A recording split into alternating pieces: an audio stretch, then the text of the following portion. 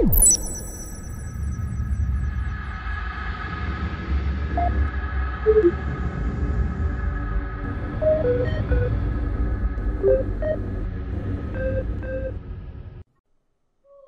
are worlds throughout the Imperium which, through a confluence of power, privilege, or sheer mythic impact, have rendered themselves as archetypes in our cultural imagination.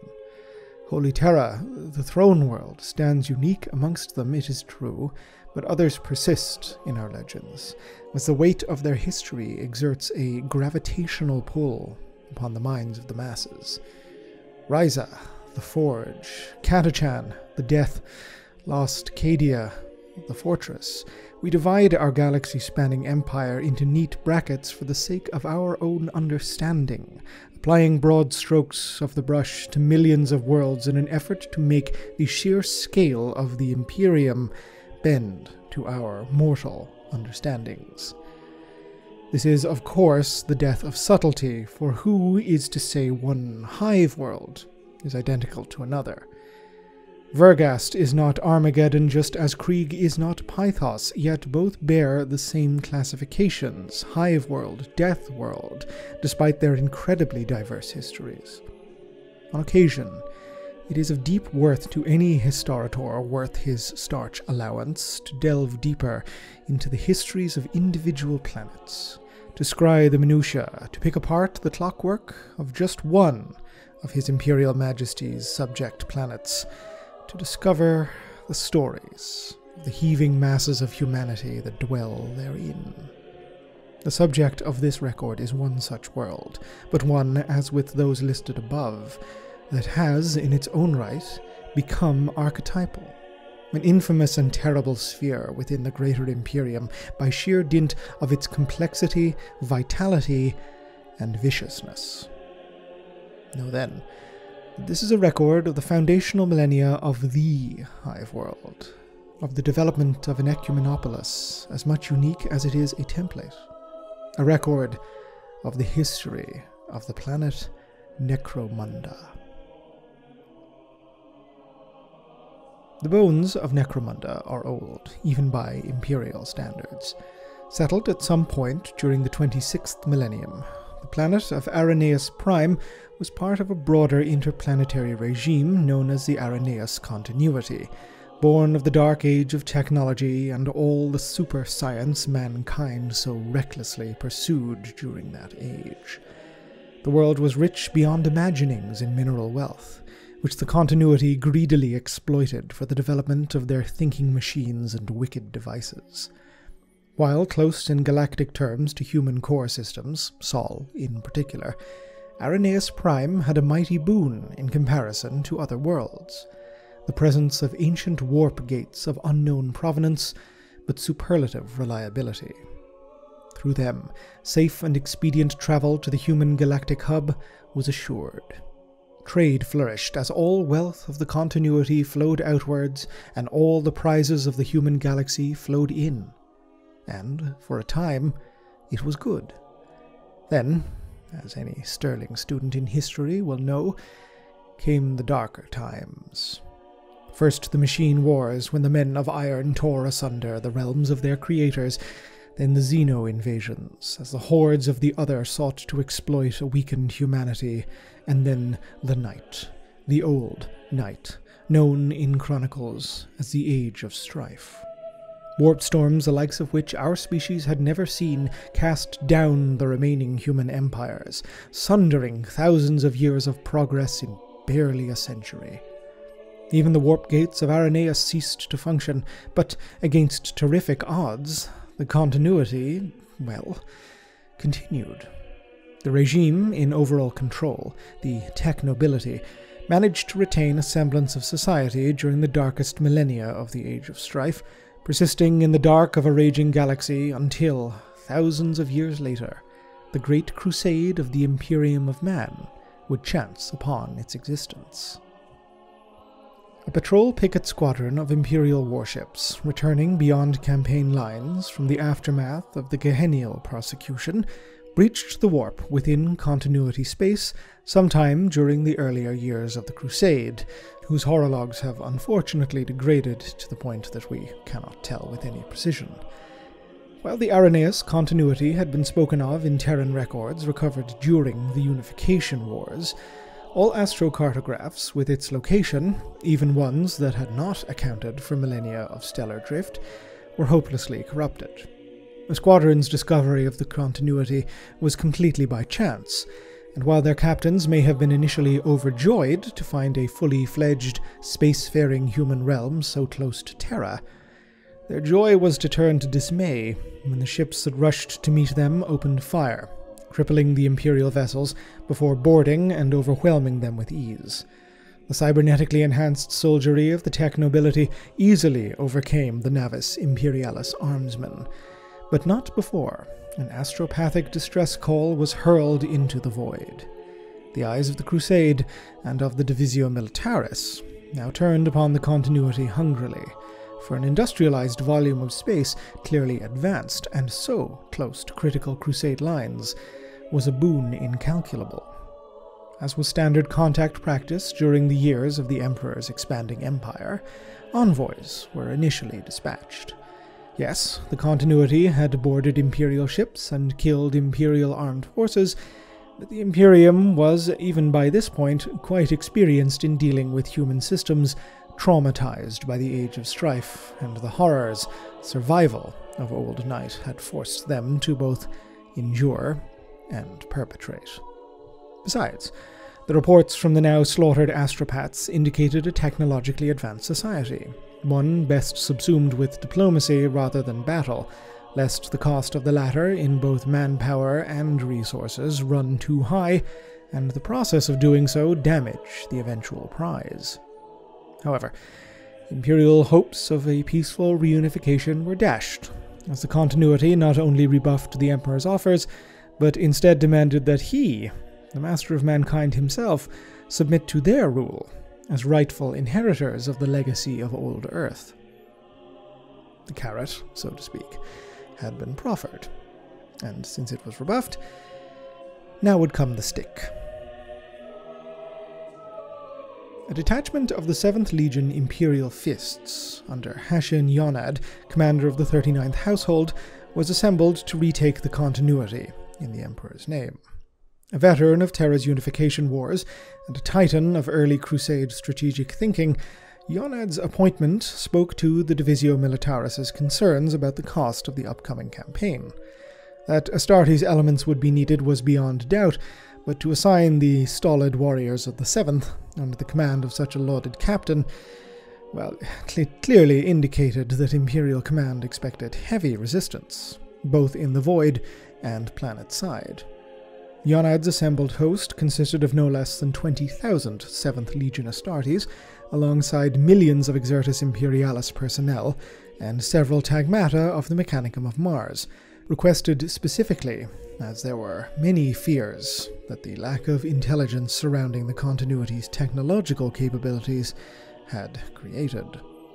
Given the priority, the assembly of an invasion force was stunningly fast, and when the fleet eventually burst into the continuity's local volume, the technobility were granted their first sight of who they had actually been dealing with all along.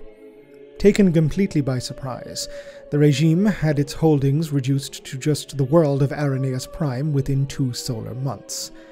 Imperial forces, led by Imperial Fists Astartes, struck and overwhelmed key locations throughout the system, and Mechanicum Data Djinn sundered the poorly secured communications infrastructure and networks that the tech nobility relied upon.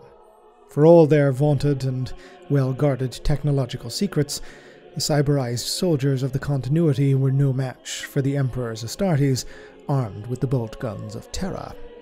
Surrounded and crippled, the humbled tech nobility surrendered utterly, submitting to the rules of the Aquila. It should have ended there. Another world made compliant, another recalcitrant regime crushed under the boot of Astartes' power armor, another lost human system delivered into the majesty of the Imperium. But fate, as is its wont, had other plans. As the Imperial Fists sought to consolidate their hold over the tech nobility's volume, and begin the work of post compliance reconstruction, The systems of the continuity were assailed by a completely unknown Xenos enemy. The attack appears to have been as sudden as it was overwhelming, as the foe was not even positively identified. Mechanicum auger screeds were hopelessly corrupted, as sensorium suites across the invasion fleet simply blew out, blinding the Imperials as the Xenos host tore through their ranks. Captain Yonad nevertheless ordered a wholesale retreat from the outlying systems, centering the Imperial defense around Araneus Prime. Scattered reports of lightning in the void and chrome wreathed in flame are all that has persisted. In the warp gates, Captain Yonad perceived a dire threat to the core worlds of humanity. Should these devices fall into enemy hands, defunct though they were, this unknown assailant could revive them, granting them direct access to systems only recently rendered compliant, presenting an almost existential threat to the nascent Imperium itself. He ordered their prompt destruction. And, as the charges went off, as inexplicably as they arrived, the enemy vanished. Whether the gates had been a prize or a threat, none could say. No communication was ever opened, no parley was ever given. But the destruction that had been meted out in the name of these gates was apocalyptic. All but one of the continuity's worlds, Araneus Prime itself, had been simply destroyed, and this world rendered unrecognizable. Continental tracts of its surface had been scoured of cities, with only the largest conurbation surviving Xenos attacks, their largest atmosphere scraping towers jutting out of an ashen wasteland like broken bones. It is unclear whether this is either where or whence the new name for the world now emerged, but apocryphally, it is said that the Imperial expedition looked out upon this new hellscape, took stock of the billions of humans that had perished, and named the planet, in bitterly direct High Gothic, Necromunda, the world of the dead. Its war-born deliverance into the bosom of the Imperium of Man was not the only time in this era that the planet would feel the taint of the hated Xenos. Striking towards the core from the Empire of Calverna, a greenskin invasion breached Imperial defense lines later during the Crusade, making full wake for Necromunda. Once again called to the task, the Seventh Legion, Imperial Fists, was again returned to the world's shores, at the head of a Navis Imperialis interdiction fleet. The defense was mounted in time to prevent a mass ground incursion, as the Fists caught the ramshackle but numerous Xenos fleet in the void, burning their filthy ships from the skies. They were, however, unable to defend against the asteroid based forces towed in system by the hated Greenskins. A common and crude method of orbital insertion for this hateable species. These wholly natural planetoids are packed full of orcs and hurled bodily planet side, the green skin not being an alien especially blessed with any sense of self preservation. Despite the weight of fire thrown in their path by all Imperial ships within range, the asteroids breached the defense cordon and made cataclysmic planetfall around the southernmost Hive City cluster. Ordering a drop pod counterassault, the Imperial Fist Legion engaged the invaders in a battle that was as vicious as it was destructive, reducing the Hive cluster to absolute ruins as the hated Xenos gleefully indulged their appetite for carnage and slaughter. Civilian casualty records of the incident appear to have been redacted, but ancient ancestral memory of modern Necromunda's ash waste clans speak of only a scant few refugees escaping the calamity for the comparative safety of the planet's desolations. Eager to move to rebuilding, but wishing that no longer should the planet be left unaided, planetary administrators conducted a deal with the Seventh Legion for the Astartes to permanently establish a holdfast in the spire of Hive Primus an invitation that, while honorable of course, was nevertheless a boon to both the planet's security and reputation, and for Imperial Fist inductarii details. Necromunda was rich in many ways, but crucial amongst them was its sheer glut of manpower, all ready to offer up to the churning engine that was the Astartes recruitment process. The advent of the Horus Heresy the betrayal of the War Master, ushered in a period of turmoil throughout the galaxy, and for Necromunda, marked for it a beginning of a period that mirrored the experiences of how other planets had endured the Age of Strife. While the actual details of how the heresy played out in the shadows of the planet's hives during that calamitous conflict appear to be lost to Imperial history, what is known is that widespread instability led to an essential breakdown of law and order. The gubernatorial administrations of the heresy years gave way, even during the resurgent years of the imperial scouring, following the traitors' defeat at Terra, to a constant stream of weak and ineffectual leaders who failed utterly to bring the imperial's rule to bear on the rest of population. As is typical of any situation where centralized authority breaks down, powerful figures emerged to carve out their own kingdoms amidst the confusion and tumult these same figures and their strong arm coteries resisted the return of the Lex Imperialis with gusto. Industrial quotas and, looming larger, the Great Tithe eventually forced the hands of planetary governors to engage in all out warfare, deploying planetary defense forces against warlord held hives and manufactura.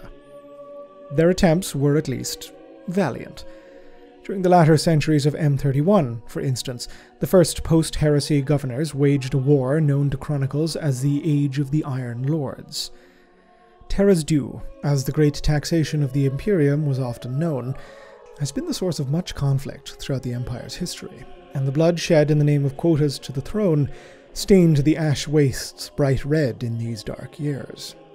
Resistance to the gubernatorial tithe campaigns was high, with many a warlord swaying the common masses of the world to their side with the promise of better working conditions and better lives under their rule, utilizing the governor's own oppressive and brutal military actions against them. Unwilling to simply let the dearth of taxes continue, the Adeptus Administratum eventually grew weary of excuses and formally deployed exector regiments subcontracted from the Astra Militarum to the planet in a direct intervention known as the First Great Pacification. Better trained and better paid than the ill disciplined gubernatorial troops, the soldiery of the bureaucrats made bloody examples of many a warlord, publicly torturing and executing them, as well as taking retribution on populations deemed wayward.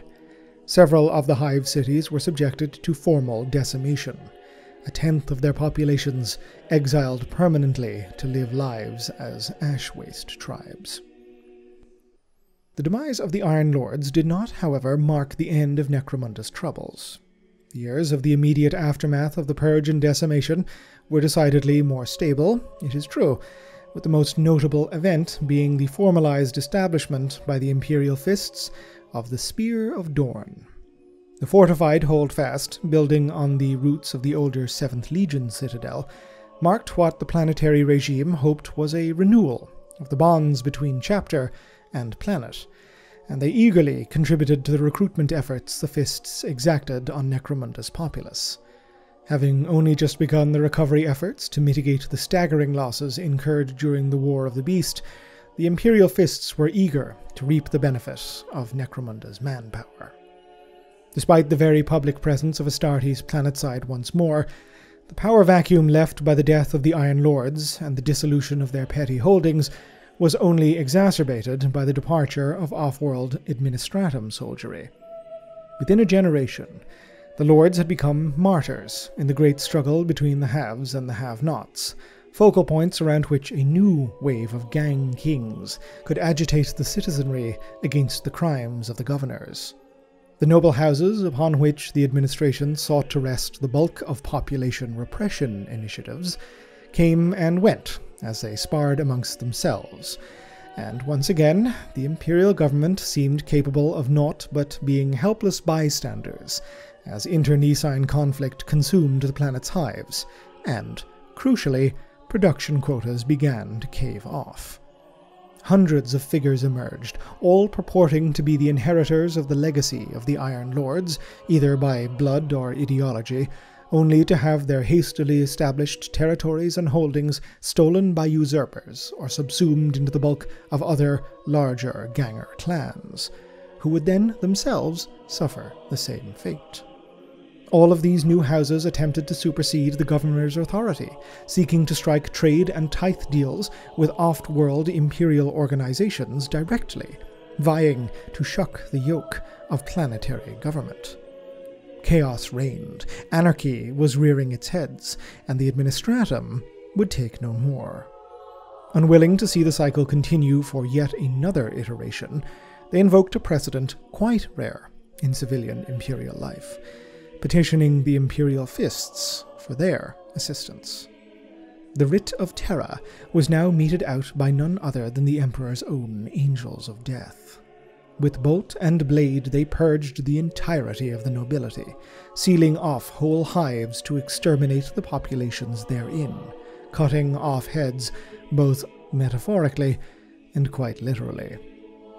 Mid-hive clan lords were, however, allowed to persist, now finding themselves nominally in charge following the purge, but operating under the watchful eyes of a huge number of newly arrived Adeptus Arbites peacekeepers, shipped in from off-world to ensure that the second Great Pacification would be the last. One final bastion of resistance, a last gasp of this old Iron Lord order, formed around the Gang King Siberia, Claiming to resist the oppression of the Administratum and the Emperor, Siberia issued a plea to all Necromundans to rise up en masse and overthrow the yoke of the oppressive imperial regime. His agitation was short lived, but it was not an arbitrator or an Astartes that ultimately effected his demise, but a fellow Lowhive ganger, one Martek Helmawr. 012 M34 is remembered in Necromunda's history as being the beginning of a period of change unprecedented since the first compliance efforts during the years of the Great Crusade. Martek Helmawr was not merely another gang king, but a figure of towering ambition, matched only by his utter ruthlessness. Immediately seeking to build upon his very widely known defeat of Siberia, the Gang King approached none other than the Imperial Fists themselves, pledging to bring the Pax Imperialis to the entire planet within his lifetime. Impressed by, if nothing else, the sheer gumption of such gang trash, the Imperial Fists agreed to support him, withholding their own intervention, but stipulating that Helmawr had only 100 years to complete the task, starting that very day. The ensuing century saw Helmawr fully deliver on his oath to the chapter and the Imperium. Striking at rivals with unerring efficiency, the Gang King displayed a keen aptitude for all aspects of the cutthroat life he had led. Lethal force was affected just as often as political maneuvering, targeted assassination, or economic measures, but all were applied exactingly and accurately, minimizing collateral damage to both the world's infrastructure and society, unless, of course, said damage furthered Helmawr's crusade in microcosm. Having the full backing of the Imperium was no doubt a game changing boon, but the world had seen three centuries of chaos in the hands of failed governors imported from off world, and was now seeing a total transformation at the hands of one of its own. It appeared to all onlookers, and was spoken quite frequently, that the solution had clearly presented itself. Necromunda needed a Necromundan, a gang prince born of the hives and the sinks, who had breathed recycled air and eaten recycled food since he could first walk. Romanticized, obviously, but this legend in particular was undeniably effective in Helmawr's meteoric rise to primacy. He delivered, and delivered in totality. One by one the hives pledged to him, each one that fell representing a massive force multiplier in both military and economic terms that the merciless ganger immediately employed on his next target. Before the century had even turned, the entire planet was willing to submit to the banner of the newly minted House Helmawr, and the Gang King himself, counting his oath fulfilled, took upon his brow the mantle of planetary governor in the Emperor's name. Now bearing the epithet of the Imperial House, the Lords of Helmawr would continue their founder's legacy throughout the centuries that followed, consolidating their hold on Necromunda with wicked efficiency. All planetary spaceports outside of Hive Primus were forcibly dismantled, granting the House a total monopoly on all off world trade. Nothing would leave the planet nor enter it without the governor and the imperial household's direct say so. And while a thriving smuggling industry soon arose to compensate for this shipping stranglehold, Helmawr ruthlessness rose to meet it, with detachments of gun cutters and monitor sloops plying the skies of Necromunda and destroying any unauthorized air or void traffic. The House soon began to target what it deemed subversive bloodlines, family clans with ties to the Iron Lords of old, or any rebellious figures of note from the world's past. Those deemed of seditious ancestry were simply executed in massive public displays of imperial law enforcement, forcing thousands who were either confirmed of or suspected of carrying illegal genes to flee the hives for the wastes. Many with connections or wealth to their name took the even more dangerous route of attempting to book off world travel under assumed identities. But the scrying eyes of the Imperial House were many, and few, if any, who ran this gauntlet succeeded in finding freedom and safety elsewhere across the Imperium. Reforms were not just limited to excising corruptive bloodlines, but extended to the formal ratification of others. Consolidation over an entire hive world, especially one as populous as Necromunda, could never be the sole purview of one house. And, in order to delegate the power of that house, Helmawr ruled that the six clans of Hive Primus would now effectively control the six cardinal aspects of hive industry and economy, with all others officially subsumed into these, or granted writs of authority beneath the six, or simply declared superfluous to the Emperor's needs, and thus outlaw. Two millennia after his rise, the last children of Helmawr were now succeeding in cementing their sire's legacy, as the final hives were brought fully into compliance with the new regime. The last true genetic descendant of Martek, Jar Helmawr, was a deformed and frail thing clinging to life in a nutrient vat his frame a product of centuries of noble inbreeding and medical treatments to stave off mutancy.